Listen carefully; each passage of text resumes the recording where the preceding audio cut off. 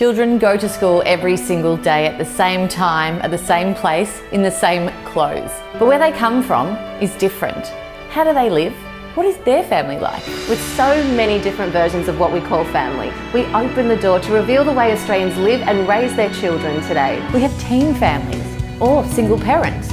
We have families living with someone with terminal illness or disease. We have billionaire families. We have families that live off the grid or expats that have travelled to another side of the world. Or we have same-sex families. Bewildered me to think what their homes must be like. What must they be going through every day in their homes that is so different to what's going on in our homes?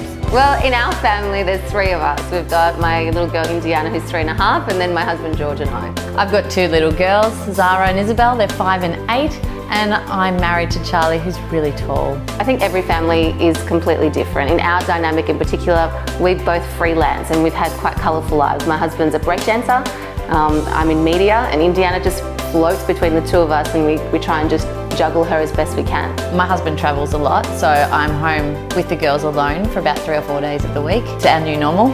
I actually like my time alone and I like him being here, but it's um, yeah, it's a different way of living. Well, what is normal? You know, I grew up with a beautiful family. I've got a sister and a mum and dad. Oh, we really didn't grow up in the most average home.